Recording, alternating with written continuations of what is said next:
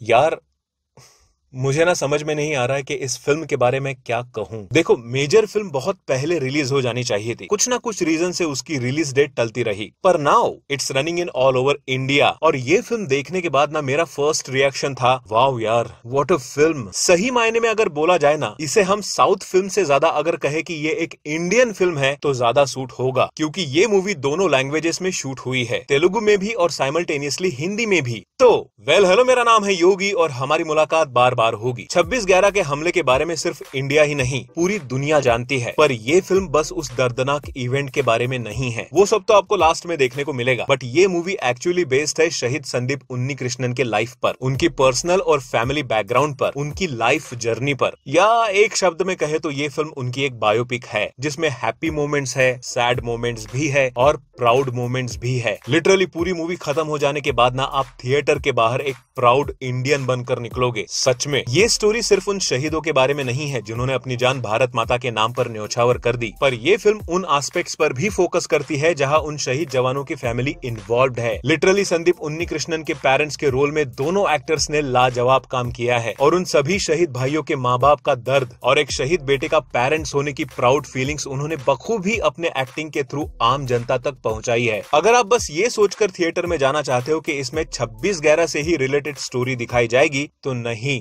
अगर आप उस इवेंट के बारे में, उसके रियलिटी के बारे में और भी डीपली स्टडी करना चाहते हो और जानना चाहते हो कि उस दिन एग्जैक्टली क्या और कैसे हुआ था तो मैं रिकमेंड करूँगा आपको उसी भयानक हादसे पर आधारित ये बुक समरी जो अवेलेबल है ऑन कुकू एफएम वो भी हिंदी में, क्योंकि ये इंडिया का लीडिंग ऑडियो बुक प्लेटफॉर्म है 4.5 प्लस की रेटिंग्स के साथ, जिसमें है हज़ार घंटे से भी ज़्यादा का क्रिएटिव कंटेंट और नॉन फिक्शन ऑडियो बुक्स की ह्यूज लाइब्रेरी इसमें मोटिवेशनल कॉमेडी क्राइम थ्रिलर और सस्पेंस पर बेस्ड ऑडियो बुक्स भी है। वो भी हिंदी, मराठी, इंग्लिश और ढेर सारी अदर रीजनल लैंग्वेजेस में। और ये सबसे इजिएस्ट वे है अपने नॉलेज को पॉजिटिव वे में ट्रांसफॉर्म करने का। वैसे तो इसका general cost three per year है। पर रुको डिस्क्रिप्शन के लिंक पर क्लिक करके मेरा कूपन कोड योगी यूज़ करो और आप में से 250 यूज़र्स को मिलेगा 50 परसेंट डिस्काउंट यानी एक साल का सब्सक्रिप्शन सिर्फ़ 199 में। तो किस बात का है इंतज़ार? कुकू एफएम डाउनलोड करना यार। अब मैं तो कहता हूँ कि पूरे मूवी में सबसे अच्छी एक्टिंग प्रकाश राज और रेवती जी की ही थी। और प्रकाश जी का वो लास्ट स्पीच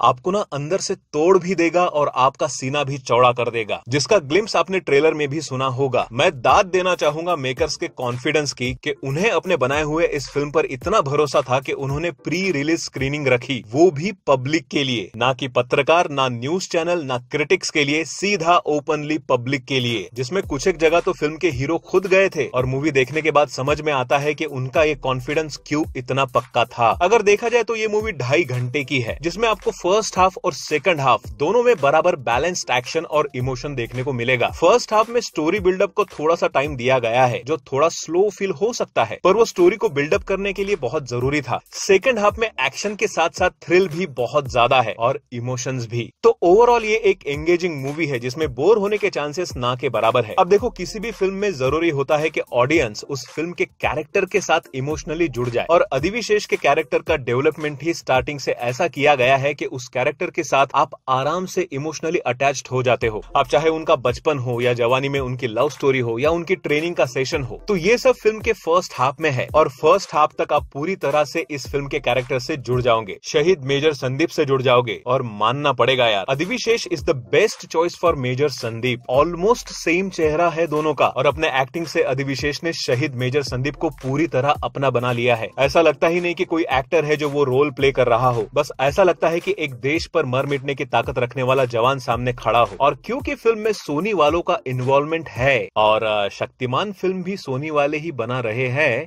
तो शायद अधिविशेष एज शक्तिमान सोचना बुरी बात नहीं है है ना?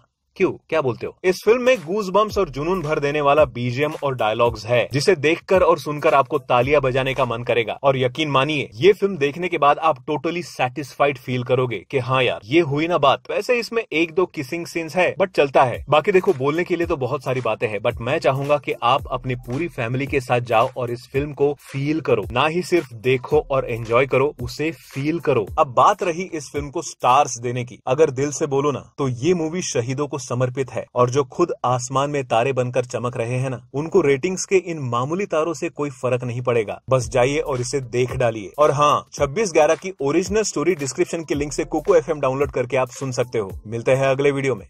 बाय